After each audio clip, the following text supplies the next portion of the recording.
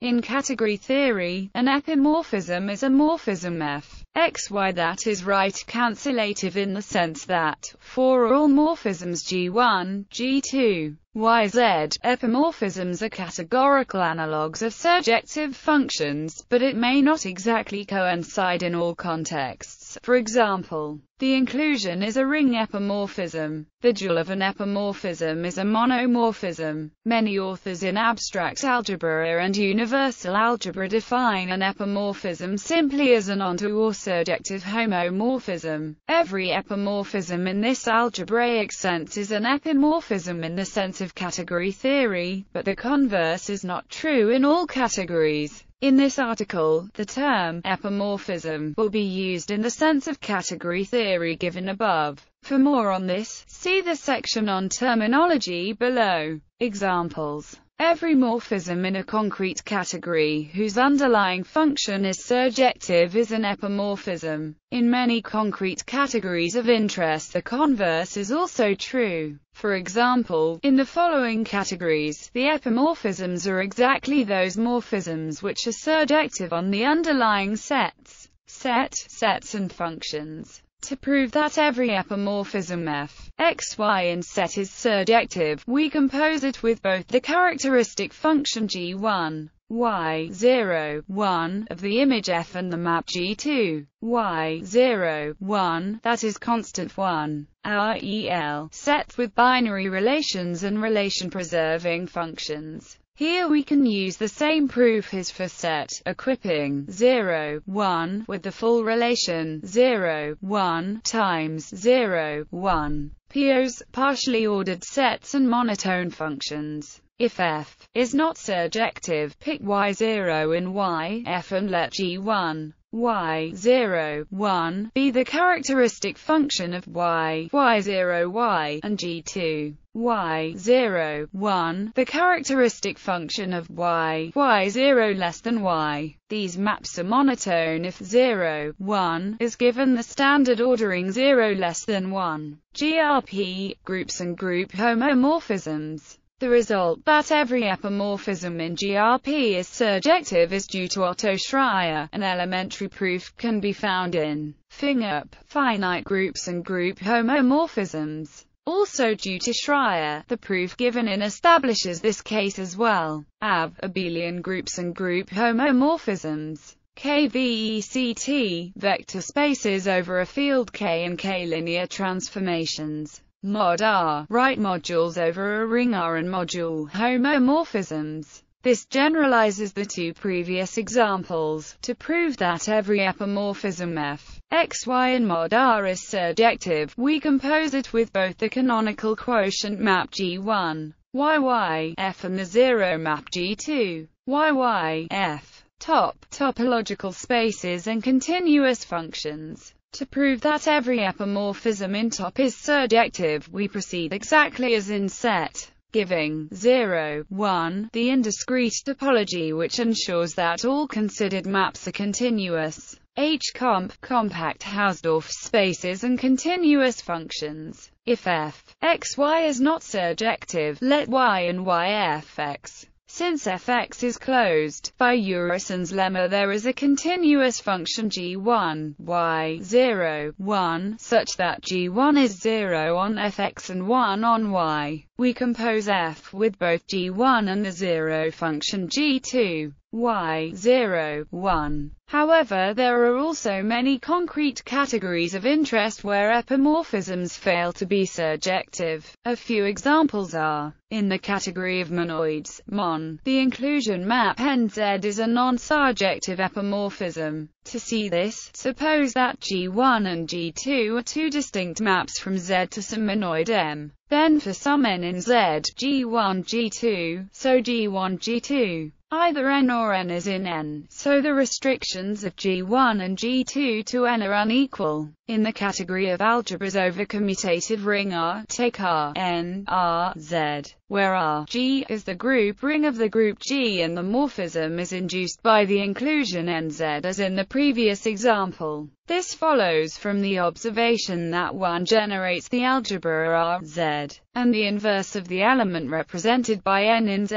is just the element represented by N. Thus any homomorphism from R, Z, is uniquely determined by its value on the element represented by 1 of Z. In the category of rings, ring, the inclusion map ZQ is a non-surjective epimorphism. To see this, Note that any ring homomorphism on Q is determined entirely by its action on Z, similar to the previous example. A similar argument shows that the natural ring homomorphism from any commutative ring R to any one of its localizations is an epimorphism. In the category of commutative rings, a finitely generated homomorphism of rings F, RS is an epimorphism if and only if for all prime ideals P of R, the ideal Q generated by F is either S or is prime, and if Q is not S. The induced map frac-frac is an isomorphism. In the category of Hausdorff spaces, Haus, the epimorphisms are precisely the continuous functions with dense images. For example, the inclusion map QR is a non-surjective epimorphism. The above differs from the case of monomorphisms where it is more frequently true that monomorphisms are precisely those whose underlying functions are injective.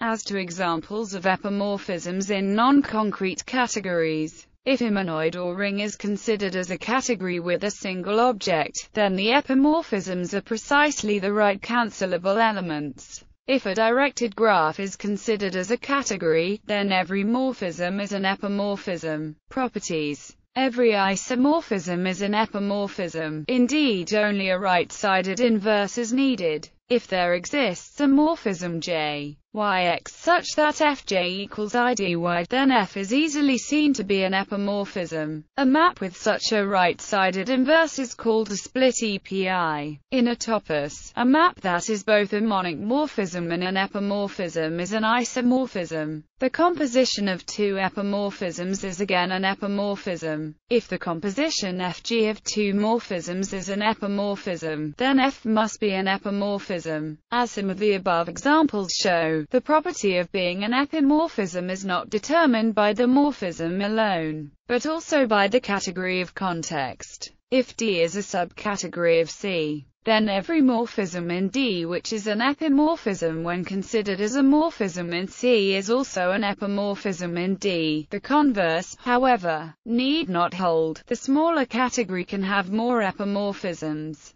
As for most concepts in category theory, epimorphisms are preserved under equivalences of categories. Given an equivalence F, C, D, then a morphism F is an epimorphism in the category C if and only if F is an epimorphism in D. A duality between two categories turns epimorphisms into monomorphisms, and vice versa. The definition of epimorphism may be reformulated to state that f, x, y is an epimorphism if and only if the induced maps are injective for every choice of z. This in turn is equivalent to the induced natural transformation being a monomorphism in the functor category SETC. Every coequalizer is an epimorphism, a consequence of the uniqueness requirement in the definition of coequalizers. It follows in particular that every cokernel is an epimorphism. The converse, namely that every epimorphism be a coequalizer, is not true in all categories. In many categories it is possible to write every morphism as the composition of an epimorphism followed by a monomorphism. For instance, given a group homomorphism F, GH, we can define the group K equals M equals F and then write F as the composition of the surjective homomorphism GK which is defined like F followed by the injective homomorphism KH which sends each element to itself. Such a factorization of an arbitrary morphism into an epimorphism followed by a monomorphism can be carried out in all abelian categories and also in all the concrete categories mentioned above in the examples section. Related concepts Among other useful concepts are regular epimorphism, extremal epimorphism, strong epimorphism, and split epimorphism. A regular epimorphism co-equalizes some parallel pair of morphisms. An extremal epimorphism is an epimorphism that has no monomorphism as a second factor, unless that monomorphism is an isomorphism. A strong epimorphism satisfies a certain lifting property with respect to commutative squares involving a monomorphism. A split epimorphism is a morphism which has a right-sided inverse.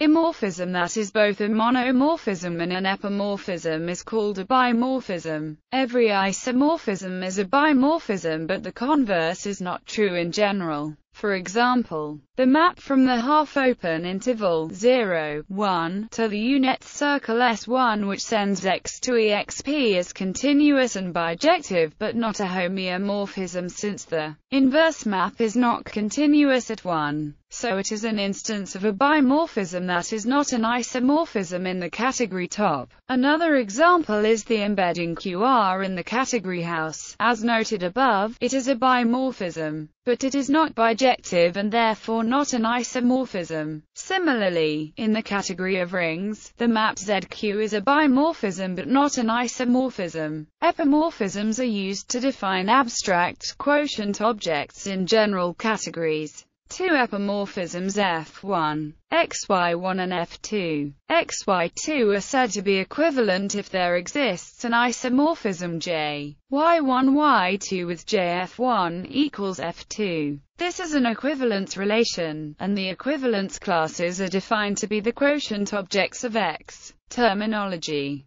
the companion terms epimorphism and monomorphism were first introduced by Bourbaki. Bourbaki uses epimorphism as shorthand for a surjective function. Early category theorists believed that epimorphisms were the correct analog of surjections in an arbitrary category, similar to how monomorphisms are very nearly an exact analog of injections. Unfortunately this is incorrect. Strong or regular epimorphisms behave much more closely to surjections than ordinary epimorphisms. Saunders-MacLane attempted to create a distinction between epimorphisms, which were maps in a concrete category whose underlying set maps were surjective, and epimorphisms, which are epimorphisms in the modern sense. However, this distinction never caught on. It is a common mistake to believe that epimorphisms are either identical to surjections or that they are a better concept.